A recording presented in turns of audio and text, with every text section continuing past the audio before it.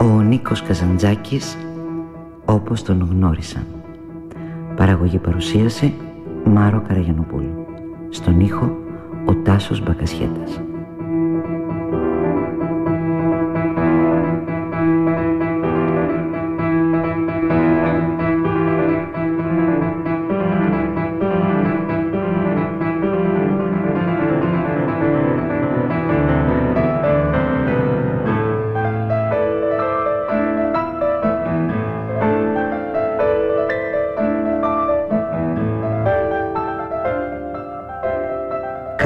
Σας, είμαστε εδώ στο τρίτο πρόγραμμα. Η Μάρο Καραγιανοπούλου στο ένα μικρόφωνο και καλώς ορίζει και καλησπερίζει και πάλι τον κύριο Γιώργο Ζεβελάκη. Συλλέκτη, ερευνητή, στοχαστή, μελετητή του Νίκου Καζαντζάκη όχι μόνο λόγω εντοπιότητας, λόγω κοινής κριτικής καταγωγής αλλά και λόγω καταδήλωσή του αιμονής με τον Καζαντζάκη. Οι άλλες του αιμονές είναι ο Νίκος Καβαδίας και ο Μανώλης Αναγνωστάκης. Ελπίζω να έχουμε την ευκαιρία να συζητήσουμε και για αυτούς με τον κύριο Ζεβελάκη. Κύριε Ζεβελάκη, καλησπέρα σας. Σας ευχαριστώ πάλι που με καλέσατε σε αυτό το φιλόξενο τρίτο πρόγραμμα. Είχαμε δώσει μια υπόσχεση στους Σοκρατές και εμείς στηρούμε τις υποσχέσεις Ναι, αυτή τη φορά θα έχουμε περισσότερες εκπλήξεις. Νομίζω ότι η προηγούμενη φορά ήταν κάπως μονότονη αφού ακουγόμουν μόνο εγώ. Τώρα όμως θα ακούσουμε κάτι άλλο και αφού πω και μια έκφραση έτσι που μ' αρέσει ότι η φωνή ποτέ δεν πεθαίνει. Μπορούμε λοιπόν με τα μέσα που έχουμε σήμερα αυτό είναι και μια έκκληση στους ενδιαφερόμενους, mm-hmm. στους υπεύθυνους να διατηρείται ένα μέρος της ύπαρξης, της ανθρώπινης ύπαρξης που είναι η φωνή και είναι ένα σημαντικό ντοκουμέντο, ένα αποτύπωμα του κάθε ανθρώπου. Έχει φως μέσα η φωνή. Περισσότερο από την εικόνα λέτε. Και η εικόνα δεν λέω, αλλά να μην μένουμε μόνο στην εικόνα. Το μικρόφωνο λένε ότι είναι πιο ψυχαναλυτικό. Ίσως, ναι, έχει πολλές αναγνώσεις. Ε, ήθελα λοιπόν να πω ότι να, να προετοιμάσω τους ακροατές ότι σήμερα θα κάνουμε ένα παράξενο, ένα ιδιότυπο πορτρέτο τα χρώματα δεν θα είναι τα χρώματα των ζωγράφων, θα είναι χρώματα φωνητικά. Θα είναι, Ηχοχρώματα. Ναι, θα είναι προφορικές μαρτυρίες.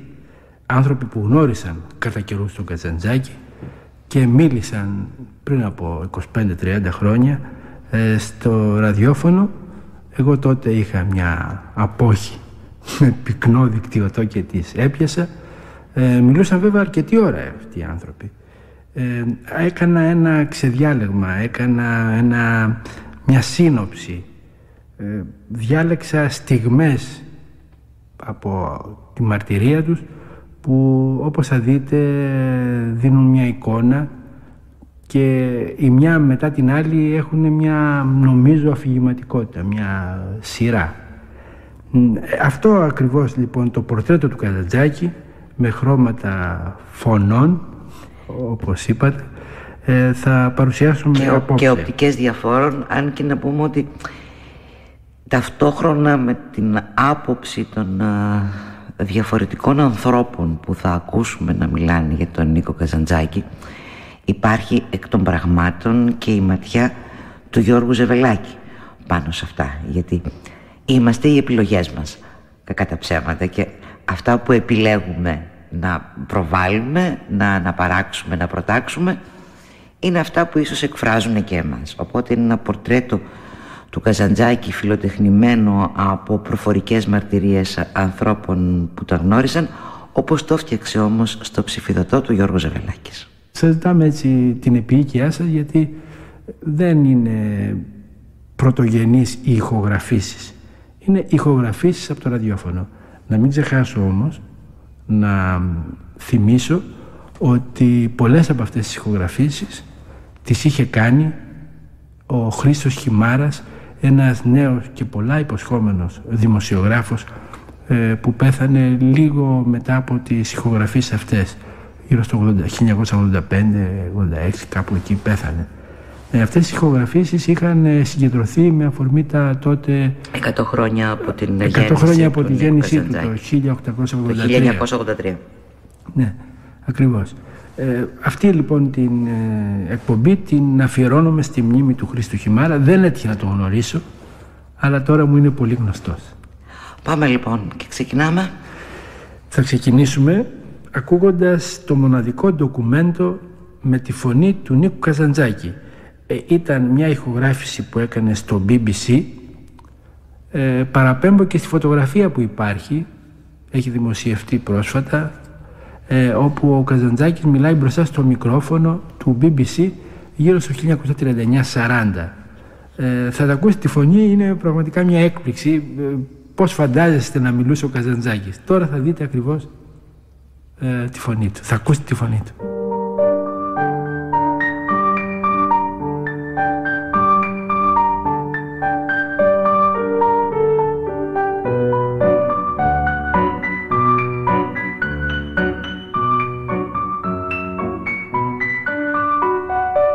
Κόσμος δεν ήταν καμωμένος από τον Ιεχωβά αλλά από τον Όμηρο. Ο Μπέρναρ Σόου θα ήταν ένας κοκκινογέννης θεός του Ολύμπου και θα είχε αχώριστο σύντροφο κοντά του τον Θερσίτη να τον κερνά. Νυφάλιος αιώνια ο ένας, ολομέθιστος αιώνια ο άλλος, θα κοίταζαν από ψηλά τον κόσμο και θα γελούσαν. Ο ένας γιατί ο κόσμος είναι τόσο όμορφος, ο άλλος γιατί ο κόσμος είναι τόσο άσχημος και οι δυο μαζί γιατί ξέρουν το μεγάλο μυστικό πως όλος αυτός ο περίφημος τροϊκός πόλεμος έγινε όχι για την Ελένη παρά για τον ίστιο της Ελένης. Η αληθινή Ελένη είχε καταφύγει κυνηγημένη και αμόλευτη στο κεφάλι του Μπέρναρ Σόου σαν μια μεγάλη ιδέα. Θα κατέβαινε συχνά ο Μπέρναρ Σόου στον κόσμο να παλέψει όχι για να βοηθήσει τους αρχαιούς ή τους τρώες παρά για να προστατέψει καμιά ιδέα που κινδύνευε. Υποτικός, αφιλόκερδος, καταφρονητής κάθε επίγειου, ο κοκκινογέννης αυτός Θεός. Μα πίσω του ο Σάντσος του ο Περσίτης θα μάζευε με απιστία όλα τα επίγεια λάφυρα. Και έπειτα ο Μπέρναρ Σόου θα ανέβαινε πάλι στον Όλυμπο να καθίσει δίπλα στη φιλενάδα του την πάνω λογική την Αθηνά και θα συνεχίζονταν μέσα στον αβασίλευτο ήλιο της θεωρίας ο θείος διάλογος.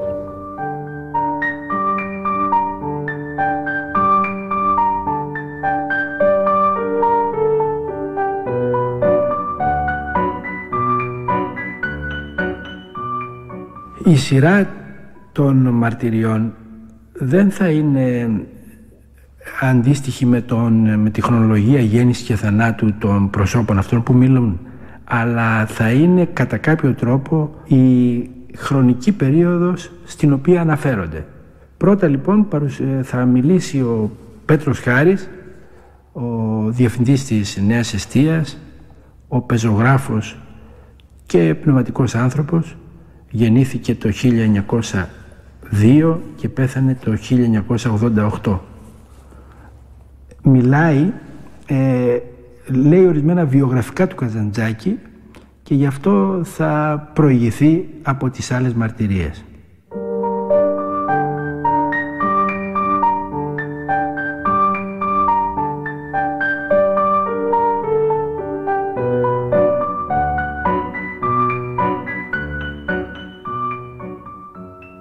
Γεννήθηκε στο Ηράκλειο της Κρήτης στις 18 Φεβρουαρίου του 1883 και τελείωσε τις ημέρες του στην Πανεπιστημιακή Κλινική του Φράιμπουργκ της Γερμανίας στις 26 Οκτωβρίου του 57.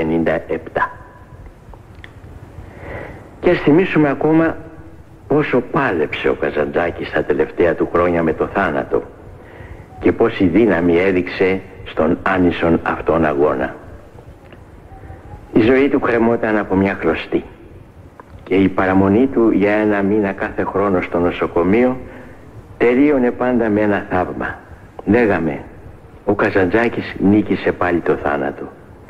Πέταξε από πάνω του το κακό το αίμα, αντιστάθηκε ακόμη μια φορά αυτός ο ασκητής που είχε δυνάμεις κρυφές, δυνάμεις αξόδευτες φαίνεται είχε και κριτικό πείσμα που γίνεται και περηφάνια και καρτερία και φλόγα και δημιουργικό πάθος και μάχεται αυτό το πείσμα και στέκεται πάνω από τη φθορά.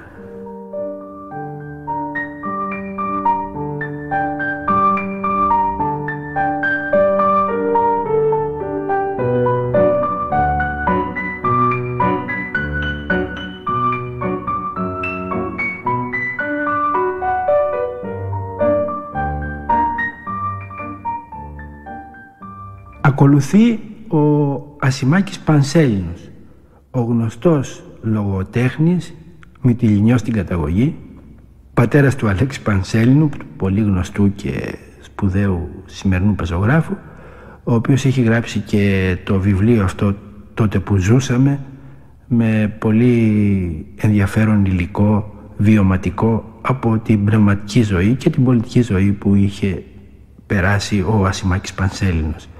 Ο Ασημάκης Πανσέλινος αναφέρεται σε μια στιγμή, σε συναντήσεις με τον Καζαντζάκη γύρω στο 1930.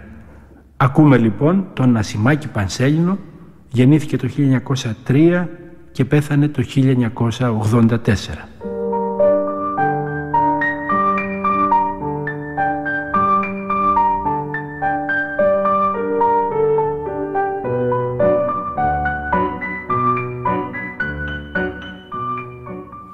Το γνώρισα τον Καζαντζάκη.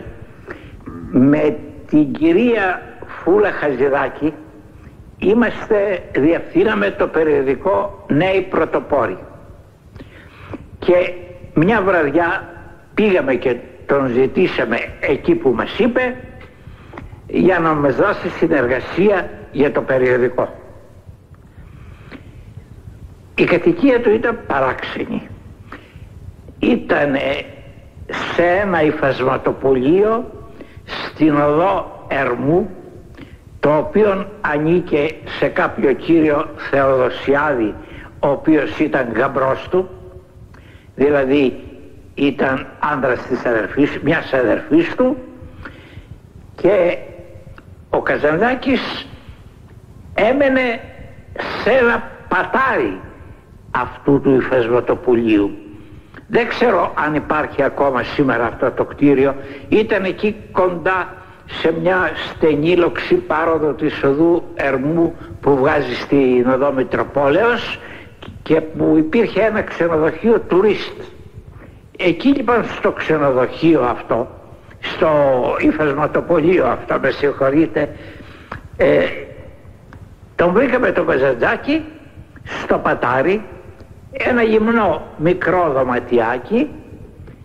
Νομίζω πως καθόταν και διπλοπόδι στο πάτωμα. Ε, σε ένα μαξιλάρι ή σε κάτι και έπαιρνε ένα τσάι. Μας είπε ότι αυτό είναι το νυχτερινό φαΐ του το βραδινό φαΐ του. Το τσάι το σκέτο. Εμείς φυσικά εκπλαγήκαμε μπροστά σε όλο αυτό το φαινόμενο αλλά μας δέχτηκε πολύ καλό αλλά μας έδωσε και τη συνεργασία την οποία περιμέναμε και θυμούμε όταν αργότερα το είπαμε στα γραφεία του περιοδικού στο Βάρνταλι ο Βάρνταλης κούνησε ταλανιστικά το κεφάλι του και λέει δεν τρώει, δεν πίνει τι είδος καλλιτέχνης θα γίνει. Αλλά εν πάση περιπτώσει έγινε και έγινε μεγάλος καλλιτέχνης και τους σκέπασε όλος. Δεν χωρεί αμφιβολία γι' αυτό.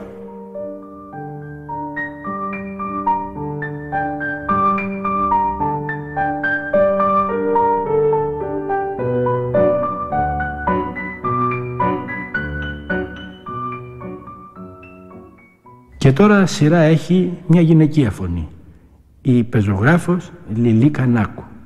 Γεννήθηκε το 1903 και πέθανε το 1989.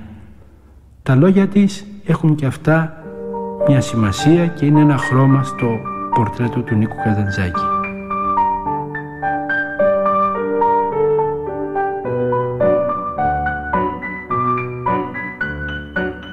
πολύ ελληνικά τότε αλλά άρχισα λίγο λίγο να διαβάζω και γνώρισα γιατί δυστυχώς και καλούς να έχουμε άμα γράφεις ελληνικά πας χαμένος. Μη ρωτάς τον Καζαντζάκη.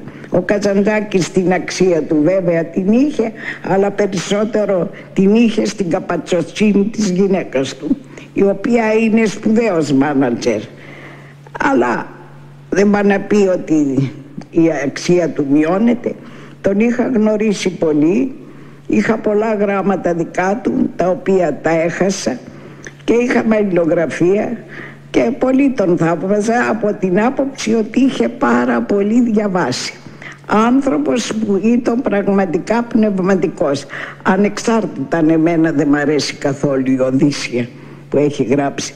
Γι' αυτόν όμως καλύτερα από όλους θα μιλούσε ο Πρεβελάκης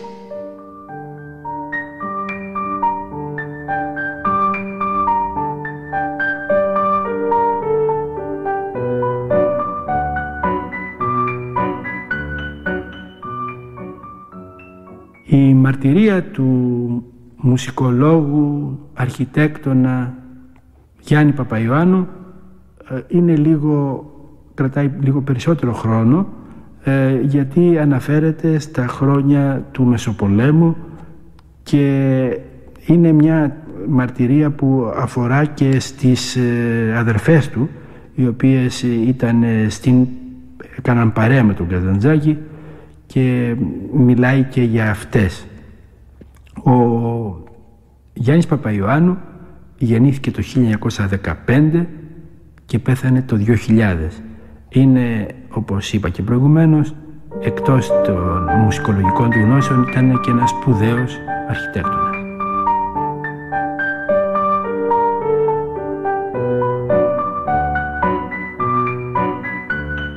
Θα σας ε, απαντήσω, κοιτάξτε, ε, τον έχω γνωρίσει ε, προσωπικά και τον έχω συναντήσει πάρα πολλές φορές και αρκετές φορές είχα τη μεγάλη τιμή να μιλήσω μαζί του και να ακούσω τις, τις γνώμες του. Φυσικά είμαστε οικογενειακά συνδεδεμένοι και τον εγνώριζαν πριν από μένα και πολύ περισσότερο από μένα οι δύο μου αδερφές, η Κέτη και η Μερίκα. Η Κέτη την οποία έχουμε χάσει εδώ και 22 περίπου χρόνια που ήταν και η πρώτη που τον εγνώρισε μόλις εμείς γυρίσαμε από την Ελβετία το 1919 δηλαδή από το 20 και πέρα μέσω κοινών φίλων της Λιλίκας Νάκου και άλλων η Κέτη είχε πλησιάσει τον Καζαντζάκη και σώζονται και φωτογραφίες σε εκδρομές που είχαν πάει μαζί. Λίγο αργότερα άρχισαν αυτές οι συγκεντρώσεις. Εδώ στην πλατεία Δεξαμενής υπήρχε ένα κεντράκι ε, ο Παράδεισος.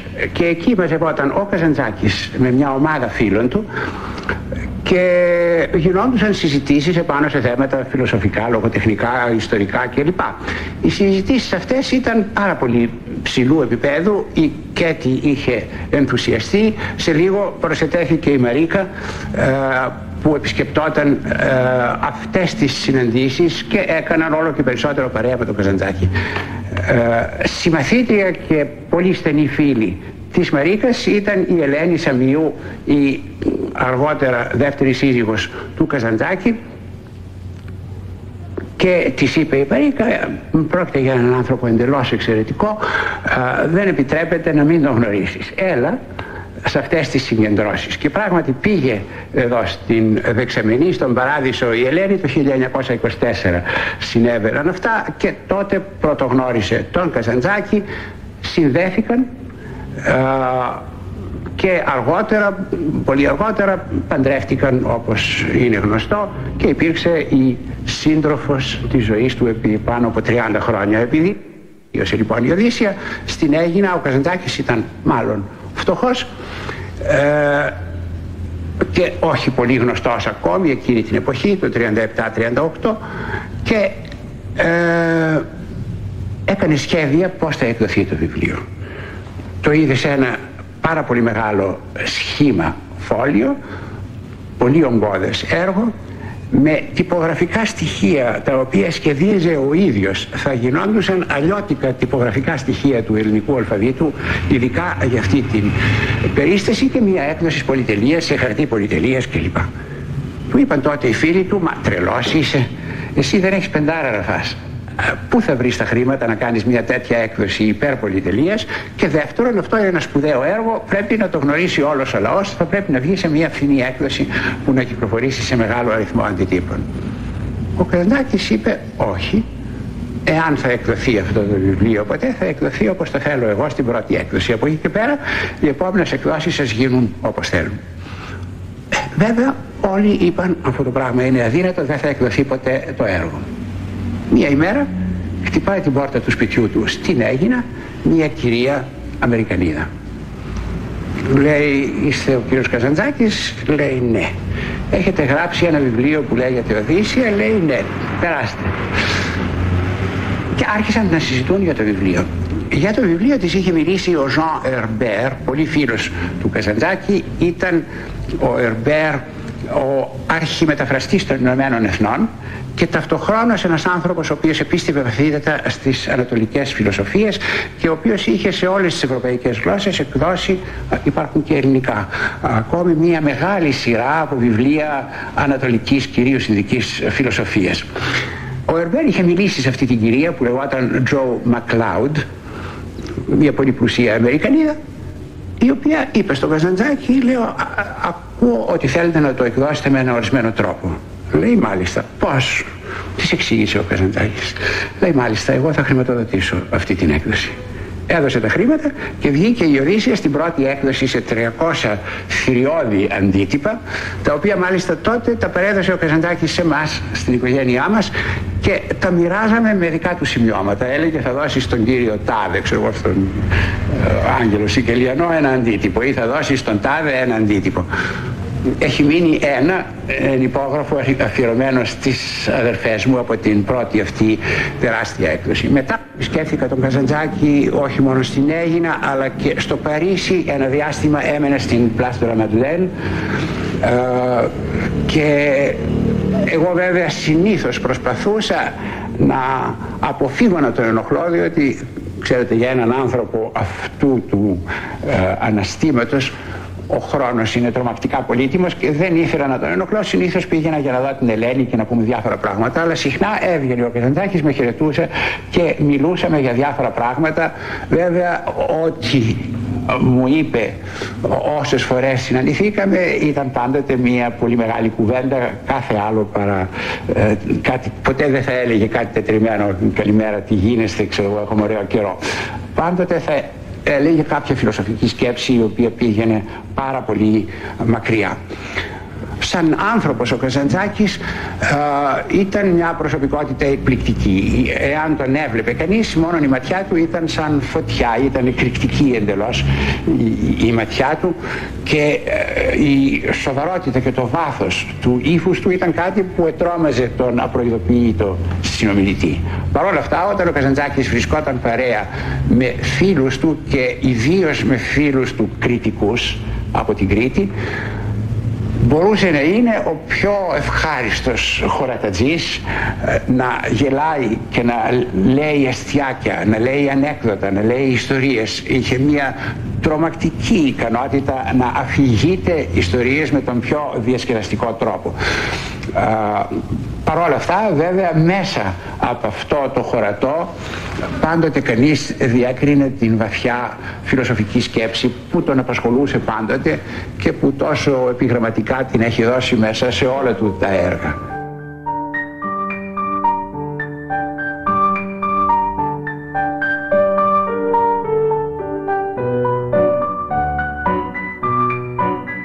Τώρα ο δοκιμιογράφος Ελευθέριος Πλατής. Γεννήθηκε το 1922 και πέθανε το 2003. Η αναφορά στον Καζαντζάκη γίνεται για μια συνάντησή του μέσα στην κατοχή. Νομίζω ότι έχει πολύ ενδιαφέρον.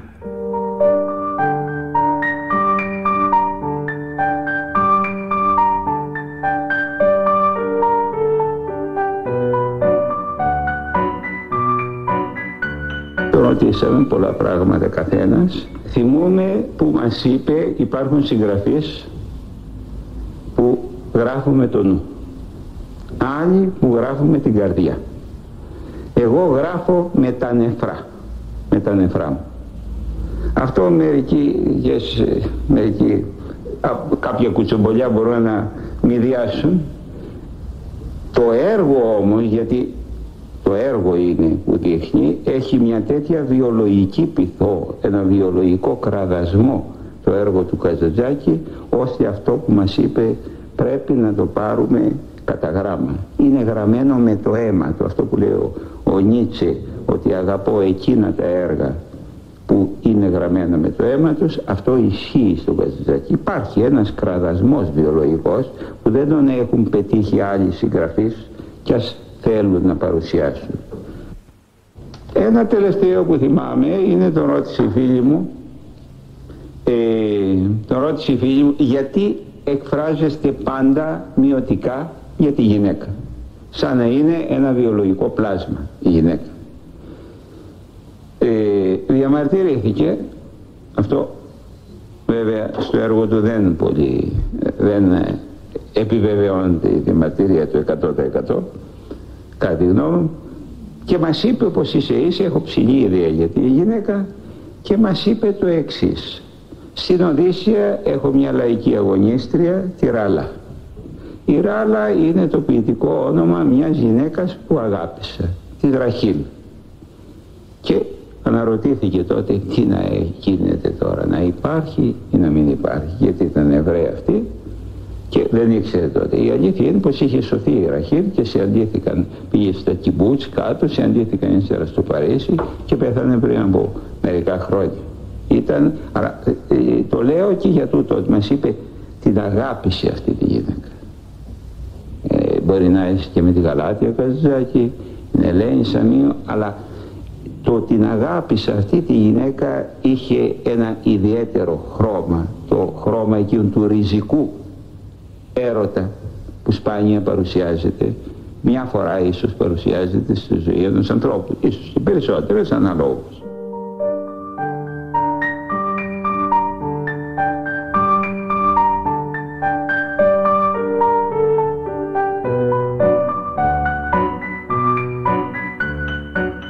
Πάλι μια γυναικεία φωνή. Είναι η Άννα Σκυλιανού η συναντήσεις με τον Καζαντζάκη γινόταν όταν ήταν γείτονες στην Έγινα, τα χρόνια της κατοχής. Μέσα από τη μαρτυρία της ε, εμφανίζεται και η μορφή του σπουδαίου φίλου, του ποιητή, του Άγγελου Σκελιανού. Άννα Σκελιανού, 1901-2005.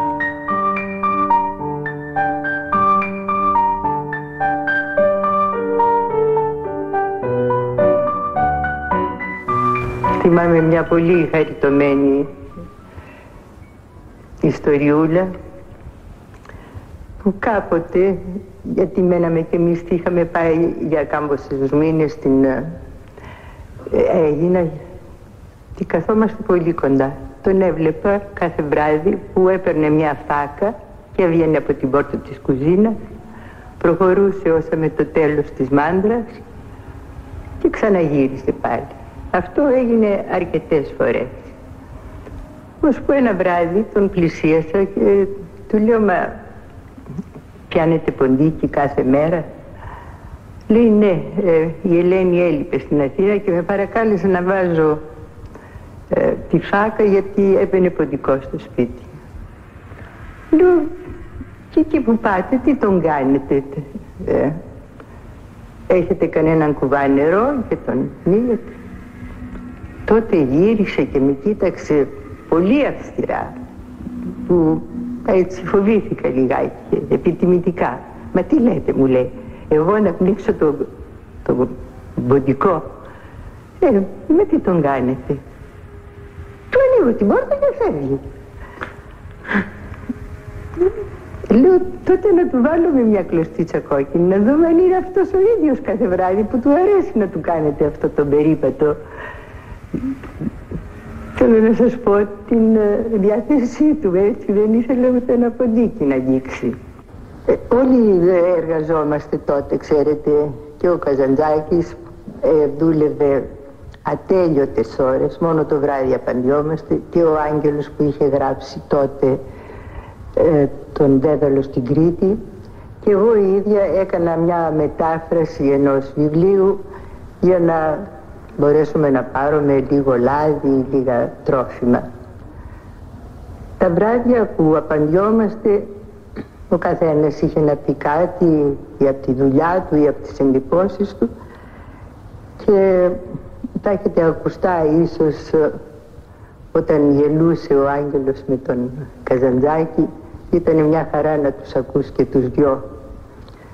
Αλλά στην Έγινα υπήρχαν πολλές κουκουβαγίτσες και ερχόταν μια κουκουβαγίτσα και ζήλευε από τη, τα γέλια τους και τις φωνές τους και τότε όταν μιλούσε ο Άγγελος και ο Καζαντζάκης έπαιρνε μέρος και η κουκουβαγίτσα. Ε, όταν μιλούσα εγώ ή η Ελένη και το κουβέντα μας ήταν χαμηλή η κουκουβαγίτσα ε, σώπαινε, ησύχαζε. Μόλις άρχιζε ο Άγγελος με τον Καζαντζάκη έμπαινε και εκείνη στη μέση να λάβει μέρος. Έπειτα μαζευόμαστε συχνά και τρώγαμε μαζί. Ήταν μάλλον λιγόφαγος ο Καζαντζάκης, αλλά εκτιμούσε το, το καλό φαΐ. Μια λέγαμε, αρχίσαμε τα μουγκριτά και όταν ήταν το φαγητό καλό από την Ελένη ή από μένα έλεγε μια στην άλλη, μα σήμερα δεν μου γκρίσατε αρκετά για μένα ε, υπήρχε έτσι αυτό το κλίμα της δυστυχίας που το παίρναμε ε, λιγάκι ανάλαφρα και με κάποιο χιούμορ.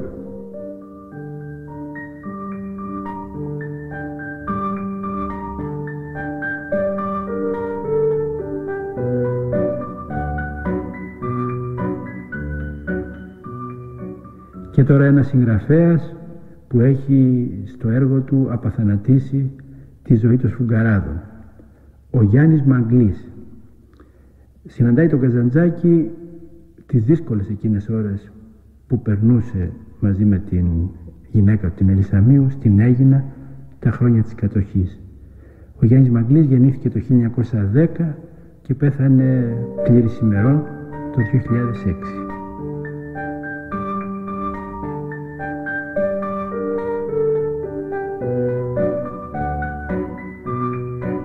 Τον Καρεζάκη γνώρισα στην Έγινα στο 1937. Άνταν από το ήταν Γενάρης. Στο σπίτι του Ολλανδού συγγραφέα Μπλέστρα. Ο Μπλέστρα ήταν ένας μαλακός άνθρωπος. Μαλακός σαν το βούτυρο της πατρίδας του. Ο Καρεζάκης ήταν φυσιογνωμία ηρωική.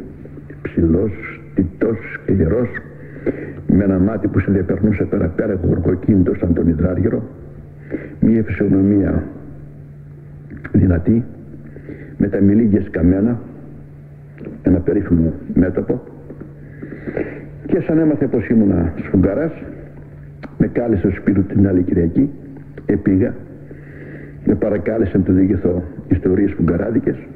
Του είπα μια δραματική, μια κομική η γυναίκα του το είχε φέρει ένα μεγάλο δευτέρ για να πάρει σημειώσεις και να γράψει ο ίδιος. Δεν πήρε σημειώσεις. Και όταν του το είπε η γυναίκα του, αυτός απάντησε ότι ο Μαγκλής πρέπει να γράψει αυτά. Πού τα κατέχει καλά, κοίτα αφηγείται καλά. Καραζάκη ήταν άνθρωπος ασκητής. Προπολεμικά μαγέρευε το Δευτέρα και έτρωγε Σάββατο από το ίδιο φαγητό. Δεν είχε χρόνο να εξοδεύει. Έτρωγε μερικές κουταλιές και γι' αυτό ήταν αδυνατός. Το τσιλικό καλό ήταν. δούλευε τόσο πολύ που έλεγες πώς διάλογο αντέχει αυτός ο άνθρωπος. Ε, εφίδετο του χρόνου του. Ούτε ένα λεπτό δεν πήγαινε χαμένο.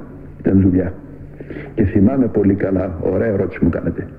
Θυμάμαι πολύ καλά μια μέρα όταν περνούσαμε από την Έγινα στα καφενεία εκεί που ήταν γεμάτα και μου λέει όταν βλέπω αυτούς όλους τους νεοέλληνες τους τεμπέλιδες μου λέει που δεν ξέρω τι να κάνουν και κάνουν στο καφενείο και παίζουν τάβλη, χαρτιά, ή κομιδιάζουν μου έρχεται να τους συνώσω να τους απλώσω τις φούχτες και να τους πω άνθρωποι μου που δεν ξέρετε τι να τον κάνει τον καιρός σας δώστε μου τον εμένα να τελειώσω να τελειώσω το έργο μου και να σώσω την ανθρωπιά μου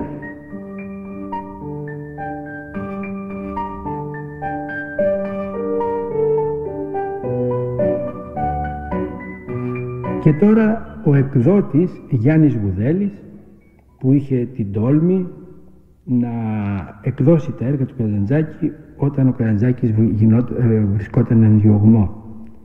Μας δίνει το κλίμα εκείνο της ε, εκδοτικής του δραστηριότητας και μιλάει και για τον Ζορμπά και τη Μάνη. Ο Γιάννης Γουδέλης γεννήθηκε το 1919 και πέθανε το 1999.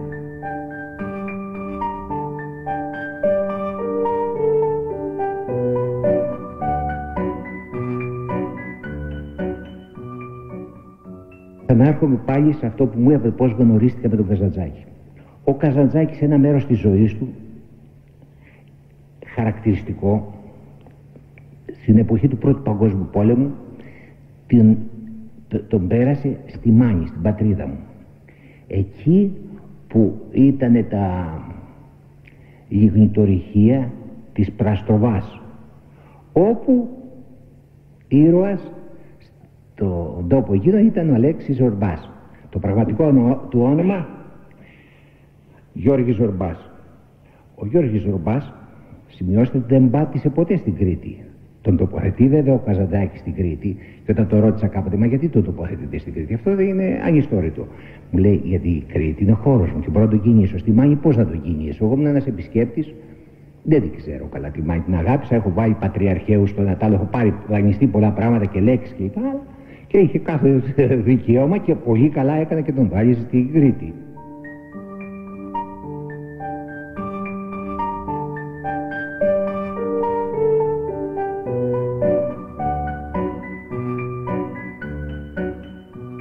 Ένας άνθρωπος που έπαιξε σπουδαίο ρόλο στη διάδοση του καζαζακικού έργου στον κόσμο ήταν ο μεταφραστής του Κίμον Φράιερ, ένας πνευματικός άνθρωπος που με τέχνη, γνώση και αυταπάρνηση είδε το έργο του Καζαντζάκη και το μετέφρασε στην Αγγλική. Μάλιστα πολλοί λένε, θέλοντας να μειώσουν την αναγνώριση του Καζαντζάκη στον κόσμο, στον αγγλόφωνο κόσμο, ότι το έργο του Καζαντζάκη μεταφρασμένο στα αγγλικά είναι καλύτερο από το πρωτότυπο. Κίμον Φράιερ, 1911-1993.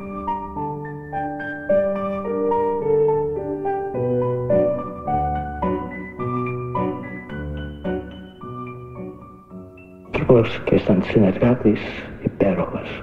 Έχω γνωρίσει πολλούς ανθρώπους στη ζωή μου γιατί διάστηνα το κέντρο ποιήσης στη Νέα Υόρκη που γνώρισα όλους τους μεγάλους ποιητές της Αμερικής και από το εξωτερικό και εδώ στην Ελλάδα έχω γνωρίσει όλους τους σημαντικούς ποιητές αλλά ο Καζαντζάκης για μένα ήταν ο μεγαλύτερος σαν άνθρωπος.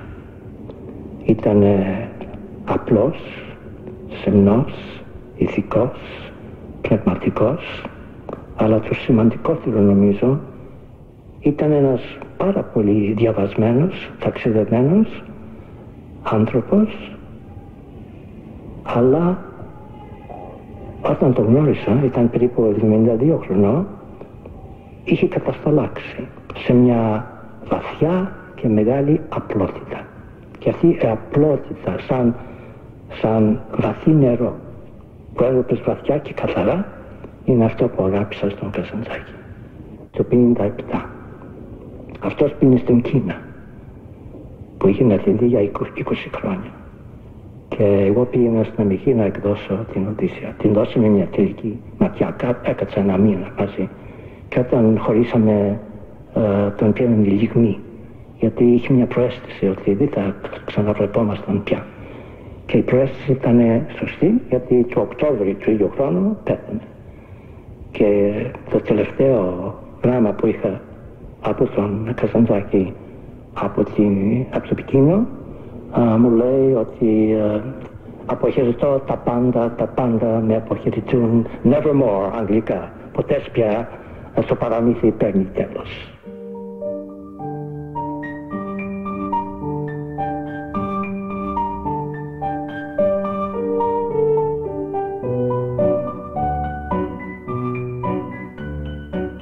δεν θα μπορούσε σε ένα τέτοιο πορτρέτο ε, να απουσιάζει και η φωνή της συντρόφου του μέχρι τις στερνές στιγμές της ζωής του της Ελένης Αμίου.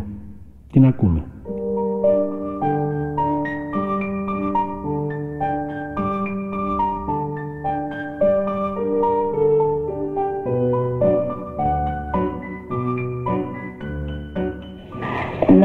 ότι ο Νίκος, ο οποίος που είχε σχεδόν χάσει το ένα του μάτι, όχι εντελώς, έβλεπε και με το μάτι του που υπέφερε, που καθόταν ως την τελευταία στιγμή και διάβαζε οτιδήποτε του έστελναν οι Έλληνες. Και κάποτε, ναι, οι Έλληνες δεν σκεφτόντουσαν αυτό τον κουράσι και τους έστελναν κάτι βρωμερά γραμμένα, όχι βρωμερά σε ύφος, βρωμερά γραμμένα κείμενα και του έλεγαν μη τα διαβάσεις τρίμω, μη τα διαβάσεις, θα κουραστείς. Εγώ τα διάβασα δεν αξίζουν τίποτα. Αυτό άνοιγε τα μάτια του όλες όλες και μικρά. Και μου λέει γιατί είστε έτσι σοβαροί. Αυστηροί, γιατί είστε έτσι αυτοί. Εγώ μόλις τώρα έμαθα να γράφω. Εγώ θα το διαβάσω, μπας και βρω κάτι καλό πρέπει τους νέους να τους δίνω με κουράγιο. Ήταν είχε πολύ, πολύ παιχνιδιάρες. Πολύ παιδί, πολύ τεσσερός. Να δείτε τις τελευταίες του φωτογραφίες πώς παίζει πώς ήθελε να σου πειράζει τα μαλλιά, να σου χαϊδολογάει, πώς που κούβιζε έτσι, να δείτε φωτογραφίες που, που είναι άρρωστος έτσι. Ποτέ να μην τον δω με μούτρα, μα μία μέρα να μην κάνει μούτρα. Μία μέρα να μην παραδεχτεί ότι πονάει και είναι άρρωστος. Το έχω πει πολλές φορές και είναι απίστευτο. Το έλεγα στην κλινική λίγες μέρες πριν τον χάσουμε. Καλά δεν μετανιώνεται τώρα που πήγαμε στην Κίνα. Κόντεψε να σας κόψουν το χέρι μυστήριο άνθρωπο. Τίποτα δεν μάθατε τόσα χρόνια κοντά μου. Εγώ μόνο το καλό σκέφτομαι. Μόνο τα ωραία πράγματα πήρα στην Κίνα. Λέω και δεν θυμάστε πως πονούσατε, πως μου όχι, δεν θυμάμαι.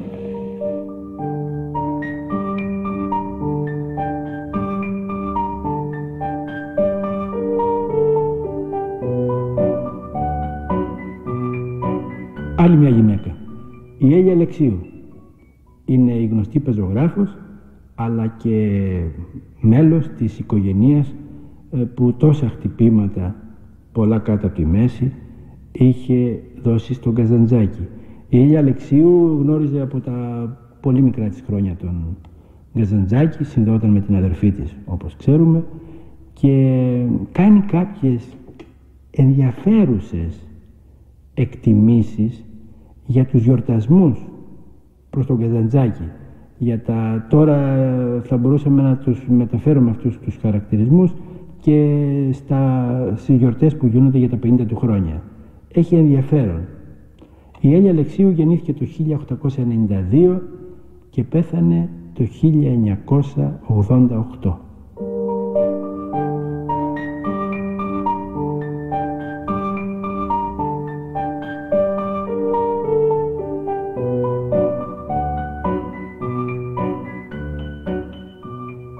πούμε πώς θα δεχόταν ο Καζαντάκης γιατί ξέραμε το χαρακτήρα του. Ήδη ο Καζαντάκης ζώντας πρόλαβε τις πρώτες ενδείξεις της παγκόσμιας επιβολής του και ξέρουμε πώς τις δέχτηκε. Με ένα χαριτωμένο, φιλοσοφημένο στοικό στοχασμό. Μα αυτό λοιπόν είναι η δόξα, είπε, ε δεν είναι τίποτα. Έτσι λέω θα αντιμετώπιζε και τις τωρινές γιορτές και καθώς στους γιορτασμούς τους δικούς μας εδώ στην Ελλάδα ο Καζανδάκης γνωρίζει και τα πρόσωπα και τα πράγματα. Η ιστορικότητά του δεν θα ήταν λέω απαλλαγμένη ούτε κριτικής ούτε και ηρωνίας. Γιατί όταν ζούσε βέβαια δεν εξεδηλούταν μπροστά στους ανθρώπους Μα ύστερα στις κατηδίαν σχολιασμούς ήταν αμήλικτος και συχνά συνόψιζε την αποδοκιμασία του με τούτη τη γαλλική φράση «Ουι, ουι, με την εκομφανόρια έτσι έκλεινε την κριτική του για τους ανθρώπους. Αλλά υπάρχουν βέβαια και περιπτώσεις που λέγω πως η δύσκολη ευαρέσκειά τους θα εκδηλωνόταν ενθουσιαστική θα, θα εκδηλωνόταν χορταστική παραδείγματος χάρη από την ιδέα πιστεύω του Ανεμογιάννη να αφιερώσει τη δραστηριότητά του στην ίδρυση του Μουσείου Καζανδάκης στους Βαρβάρους. Αυτό θα το έβλεπε όπως και είναι μια ενέργεια χρήσιμη και αντάξια του. Ξέρω πως ο Καζανδάκης ήταν πάρα πολύ δύσκολα ικανοποιότανε. Λέγω ότι πολλά από όσα σήμερα γίνονται προς τιμήν του ο Καζανδάκης θα τα αποσιωπούσε. Όσο σχεδόν υποτιμητικά γι' αυτό. Γιατί θα καταλάβαινε πως πολλά γίνονται για λογαριασμό άλλων και για σκοπούς άλλους. Και είμαι σίγουρη πως θα δεχόταν τα θυμιάματά τους με τον ίδιο τρόπο που δεχόταν εμένα όταν μικρή του πήγαινα κοντά του το θυμιατό για να τον θυμιάσω δεν, δεν κουνούσε μαλακά τον καπνό πέρα δόθε όπως κάνουν όλοι οι χριστιανοί και μετά να σταυροκοπηθεί παραγελώντας τον έδιωχνε πέρα τον, τον καπνό με την παλάμη του και σαν οργισμένος και μετά αφού τον έδιωχνε καλά καλά τον καπνό δεν σταυροκοπιότανε πια ήταν και αυτό ένα από τα αστεία του. Λέγω έτσι πως θα δεχόταν και τα σημερινά θυμιάνωτα.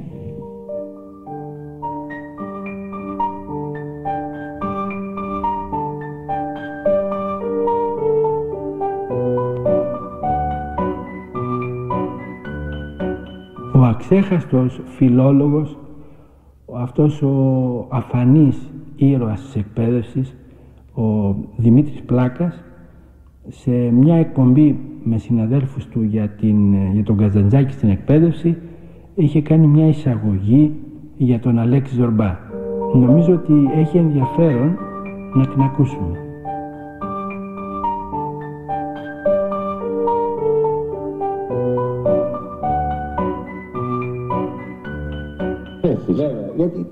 Του έργα τελικά, είτε έτσι είτε αλλιώς, είναι έργα απόκρυπνα που μόνο μια εκλεκτική συγγένεια, μια ειδική επιλογή θα φέρει κοντά τους τον αναγνώστη.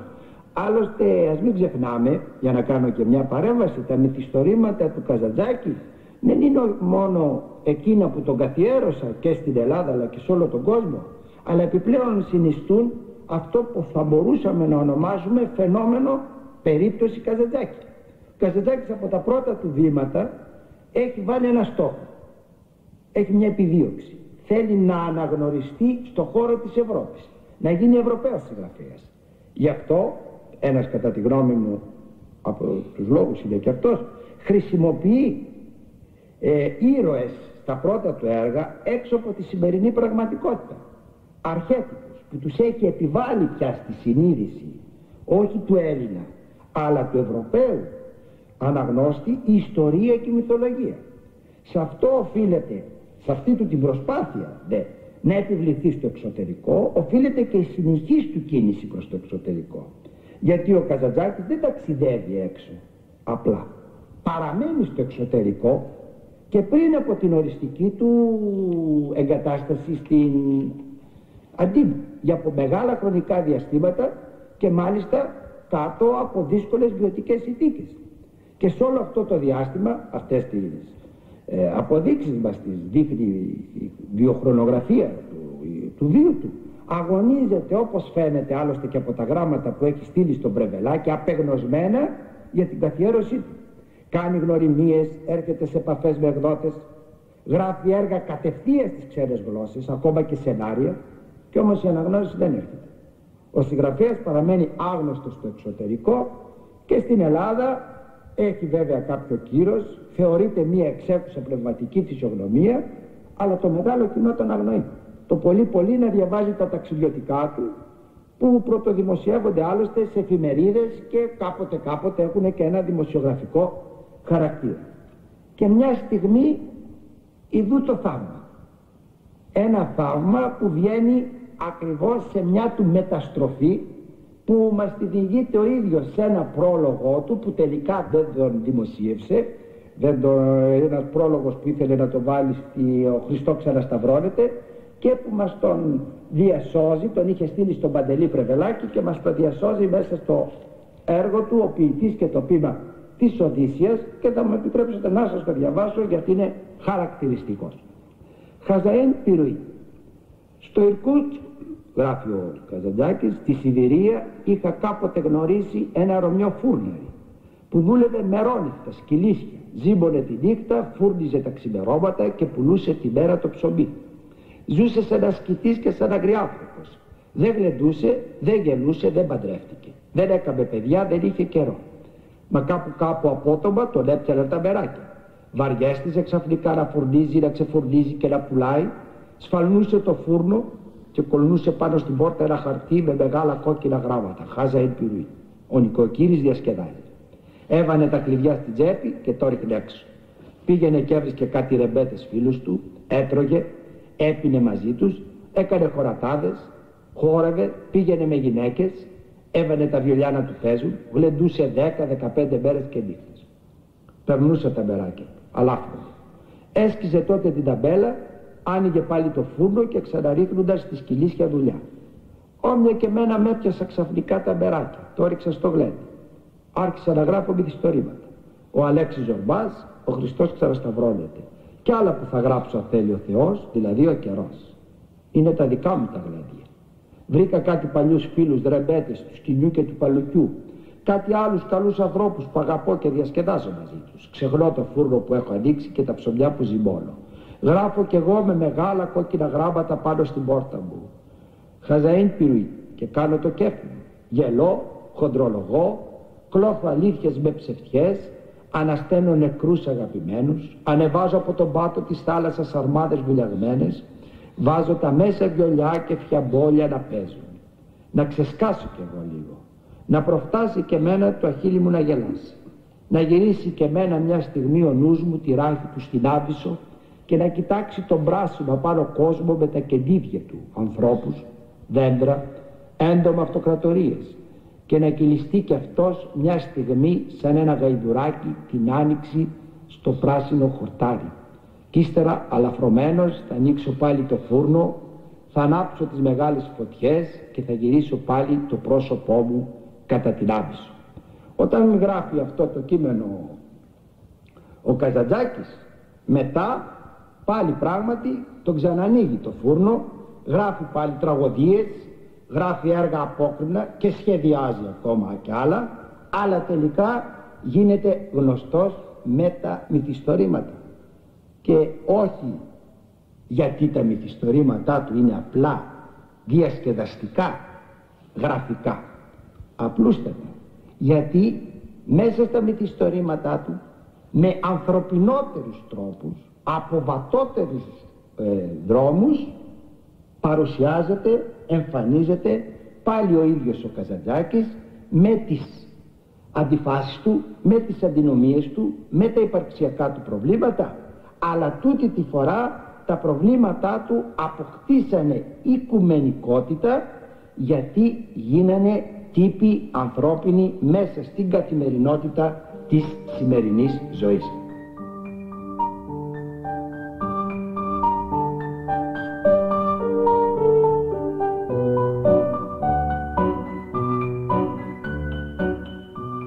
Στο κλείσιμο της εκπομπής εγώ θα ήθελα να μου πείτε μέσα από όλα σας τα διαβάσματα και όλες σας τις προσεγγίσεις για τον Νίκο Καζαντζάκη και με αφορμή το επιτυμβιό του, το δεν φοβάμαι τίποτα, δεν ελπίζω τίποτα, είμαι ελεύθερος.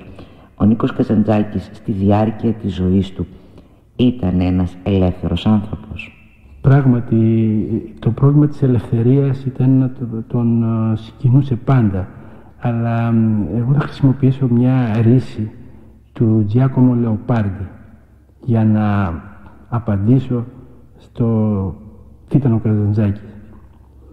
Ο άνθρωπος, λέει ο Λεοπάρντι, όπως και τα άλλα ζώα, δεν γεννιέται για να χαίρεται τη ζωή, αλλά μόνο για να τη μεταδίδει, να τη διαιωνίζει σε αυτούς που θα τον διαδεχθούν. Ο Καζαντζάκης είναι ο άνθρωπος που μεταδίδει τη ζωή. Αυτό νομίζω ήταν το νόημα της παρουσίας του στον κόσμο. Αυτό λοιπόν είναι και το επιμήθειο της α, δικιάς μας εκπομπής. Ο Νίκος Καζαντζάκης μεταδίδει τη ζωή. Και είναι σημαντικό οι άνθρωποι που έχουμε μια ηλικία ήρθαμε σε επαφή μαζί του, πήραμε κάποια πράγματα. Είναι πολύ σημαντικό και οι νεότεροι να αποκτήσουν μια επαφή με τον Νίκο Καζαντζάκη και να εισπράξουν αυτό που θέλει να τους μεταδώσει. Κύριε Ζεβελάκη και πάλι σας ευχαριστούμε πολύ. Ναι, ήθελα, επειδή κατά τη διάρκεια των δύο αυτών εκπομπών ακούστηκαν και κάποια αρνητικά στοιχεία. Νομίζω ότι ο Καζαντζάκης θα πρέπει να αντιμετωπίζεται όπως τα ψηλά βουνά. Το ύψος τους είναι η πιο ψηλή κορφή τους.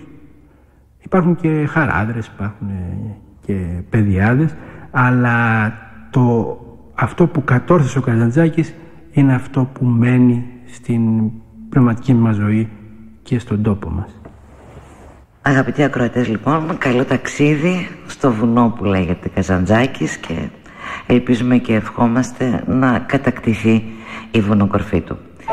Η Μάρο Καραγιανοπούλου που ήταν στο μικρόφωνο και ο Τάσος Μπακασιέτας που ήταν στον ήχο σας εύχονται ένα πολύ καλό υπόλοιπο βράδυ να είστε καλά.